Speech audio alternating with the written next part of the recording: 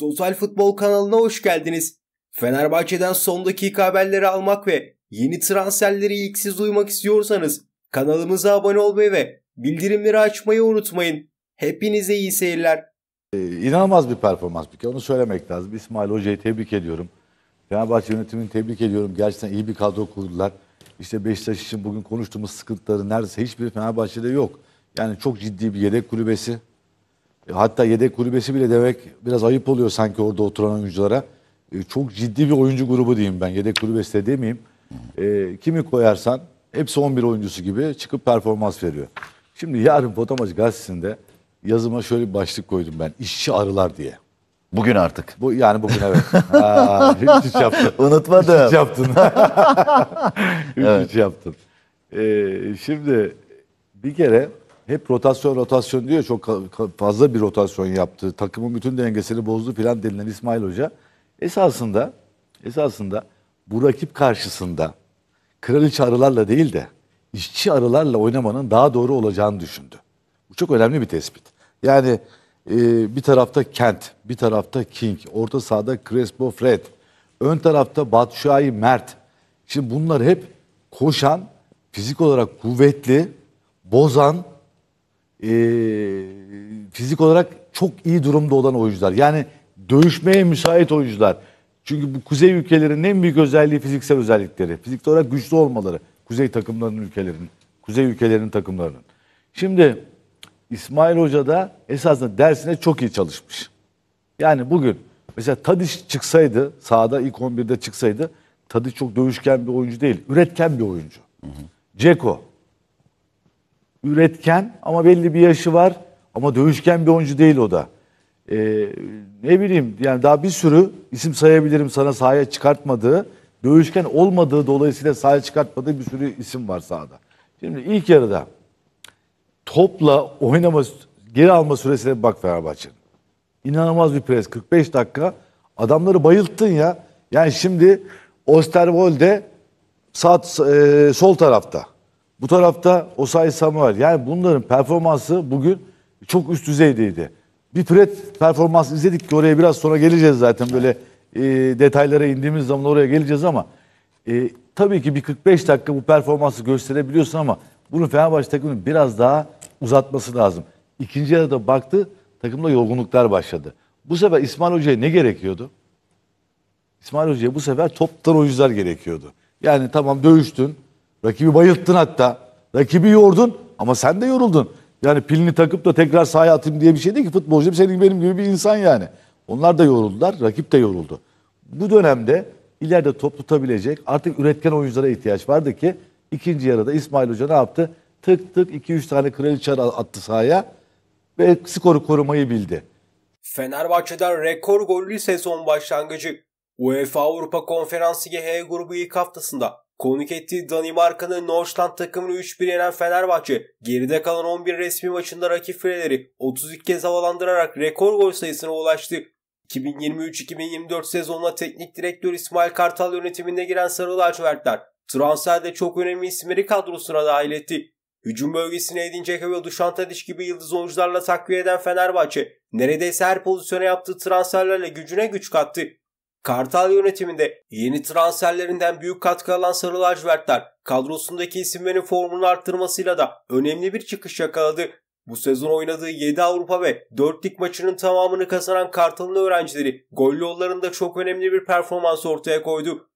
Bu sezon çıktığı 11 resmi müsabakada 32 gol atmayı başaran Fenerbahçe ilk 11 resmi maçları itibariyle 1994-1995 sezonundaki 31 gollük rekoru kırmayı başardı.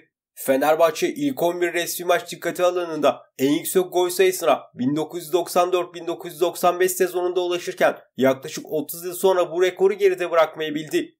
Söz konusu sezona Türkiye Sporlar Yazarları Derneği Kupası maçlarıyla başlayan Fenerbahçe Galatasaray'ı 4-3, Beşiktaş'ı ise 3-1 yenmişti. Ardından UEFA Kupası'nda Azerbaycan'ın Turan Toulouse takımıyla eşleşen Sarı Lacivertler. İlk maçı 5-0, ikinci maçı ise 2-0 geçti. Fenerbahçe söz konusu başlangıçta ligde ise sırasıyla Zeytinburnu Sporu 4-1, Ankara Gücü'nü 2-1, Denizli Sporu 3-2, Kocaeli Sporu 5-1 ve Adana Demirspor'u 3-0 yenerken Van Spor'a da 1-0 yenildi. Sarı lacivertler 11 maç içine denk gelen diğer Avrupa mücadelesinde ise Fransa'nın Chelsea takımına 4-0 mağlup oldu. Bahsi geçen maçlarda kalesinde 15 gol gören Fenerbahçe, rakip fileleri ise 31 kez havalandırmıştı.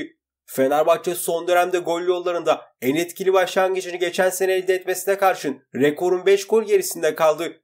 Söz konusu sezona teknik direktör Jesus önderliğinde giren Sarı Lacivertler gol yollarındaki performansıyla dikkati çekmişti. Kamuoyunda gol rekoru kırılabileceği konuşulan Jesus'un takımı ilk 11 haftada 26 gol kaydetti. Fenerbahçe bu sezon şu ana dek oynadığı maçlarda 2.9 gol ortalamasına ulaştı. Avrupa arenasında bu sezon 7 maça çıkan ve rakip fileleri 24 kez havalandıran Sarı Lacivertler bu kulvarda 3.4'lük bir gol ortalaması yakaladı. Fenerbahçe ligde ise 4 maçta attığı 8 golle 2 ortalama elde etti. Fenerbahçe'nin bu sezon transfer ettiği isimler gol yollarında önemli katkı sağladı. Sarı lacivertlerde kaydedilen 32 golün 17'si yeni transferlerden gelirken 15 gol kadrodaki mevcut oyuncular tarafından atıldı. Yeni transferlerden Edin Dzeko 6 golle zirvede yer alırken Sebastian Szymanski 5, Dušan Tadić 4, Ryan Kent ve Rodrigo Becao da birer kez rakip fileleri havalandırdı. Fenerbahçe'de İsmail Kartal'dan rotasyon kararı. UEFA Konferans Ligi H grubu ilk maçında Fenerbahçe sahasında Northland'ı 3-1'lik skorla geçti. Fenerbahçe 3 puanı getiren golleri Crespo, Michi Batshuayi ve Serdar Aziz kaydetti. Danimarka temsilisinin tek golü ise Oliver Villassen'den geldi. Grubun diğer maçında ise Ludogorets sahasında Spartak Trnava'yı 4-0 gibi farklı bir skorla mağlup etti. Bu sonuçların ardından Fenerbahçe averaj farkıyla ikinci sıradaki yerini aldı. Teknik direktör İsmail Kartal ligde oynanan Antalya Spor maçına göre ilk 11'de 7 değişiklik birden yaptı. Deneyimli hoca büyük bir rotasyona gitti ve Livakovic, Osay Samuel, Serdar Aziz, Ciku, Osterwolde, Crespo, Fred, Mert Hakan, Ryan Kent, Joshua King ve Michi Batshuayi ilk 11'ini tercih etti. Kanarya'da sıradaki hedefse Süper Lig'deki Alanya Spor maçı. Sarı lacivertler Akdeniz temsilisini mağlup ederek ligdeki galibiyet serisini ve liderlerini sürdürmek istiyor. Teknik direktör İsmail Kartal bu maçın planlamasına şimdiden başladı. 62 yaşındaki çalıştırıcı Alanya Spor maçı 11'i konusunda inceleyip sık dokuyor. Bu doğrultuda geçen hafta Antalya Spor maçına göre 3 değişikliğe gidilecek. İşte kesik gelecek o futbolcular ve tüm detaylar. Antalya Spor maçında Serdar Aziz BK ikilisiyle çıkan Fenerbahçe bu maç dağlarında 2 gol görmüştü. İsmail Kartal Alanya Spor maçında stoperde BK Ciku tandemine geçmeyi düşünüyor. Antalya Spor maçında kırmızı kart cezalısı olduğu için oynayamayan İsmail Yüksek formayı geri alacak. Verilen şansı iyi değerlendiremeyen Miyasay sarı lacivertlerde ilk 11'de başlamayacak. Antalya Spor maçının henüz ikinci dakikasında sakatlanan Cengiz Ünder bir süre sahalardan uzak kalacak. 26 yaşındaki Yıldız'ın yerine İrfan Can Kahveci tercih edilecek. Son yapılan değişikliklerden sonra Fenerbahçe'nin ilk 11'inin şu şekilde olması planlanıyor. Kalede Livakovic, sağ bekte Osayi, stoper tandeminde Ciku ve Bekao, sol Ferdi Kadıoğlu, orta sahada İsmail Yüksek, Fred ve Şimanski, sağ kanatta İrfan Can Kahveci, sol kanatta Duşan Tadiç ve ileri uçta ise Edin Dzeko'nun görev alması bekleniyor.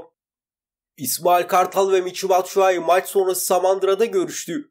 Fenerbahçe UEFA Konferans G grubu ilk maçında sahasında Northland'ı 3-1 yendi. Müsabakanın 30. dakikasında golünü kaydeden Michi Batshuayi mücadelenin 69. dakikasında yerini Umut Mayır'a bıraktı. Sezon 11 maçın tamamını kazanarak başlayan Fenerbahçe'de Northland karşılaşmasında yerini Umutlara devirden Michi Batshuayi tepki gösterdi. Yaşanan gelişmenin ardından teknik direktör İsmail Kartal ile Michi Batshuayi Samandıra Cambar testlerinde bir toplantı gerçekleştirdi. Northland maçında oyundan çıkarken üzüntü yaşamasının normal olduğunu oyuncusuna anlatan İsmail Kartal, takım olarak bir bütün olduklarını ve herkesin dayanışma içerisinde olması gerektiğini ifade etti. Michi Batshuayi ise hocasından özür dileyerek rekabetçi bir oyuncu olduğunu, bundan dolayı oyuna devam etmek istediğini belirtti. Teknik heyete karşı asla bir saygısızlık yapmak istemediğini, maçtan sonra takım arkadaşlarıyla da yanlış anlaşılmamak için konuştuğunu hocasına söyleyen Batshuayi, kendi adına hiçbir problemin olmadığını söyledi.